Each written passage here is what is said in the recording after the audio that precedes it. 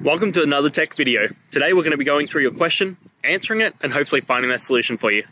Guys, remember to stay a little bit crazy, like me, and hopefully get to that resolution. Now, let's continue on to that video.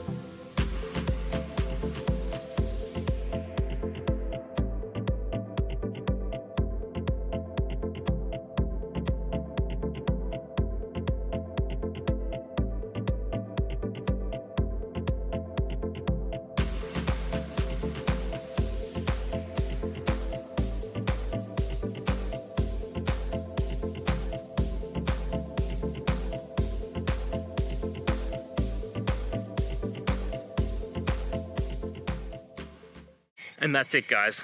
I hope that video helped find the resolution you're looking for. If it did, please, I'd appreciate it if you could hit subscribe. Until the next time you need more technical help, I hope you have a good one. Cheers.